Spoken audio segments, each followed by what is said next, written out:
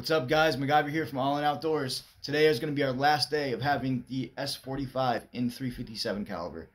So today, our caliper just came in the mail. Just in time. I took the top plate off of our magazine of our S45 357, and we are going to measure the depth.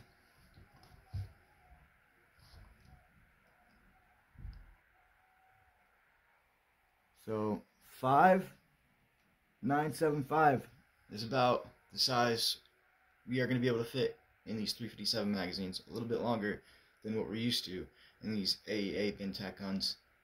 Let's see. So that's in millimeters. There we go.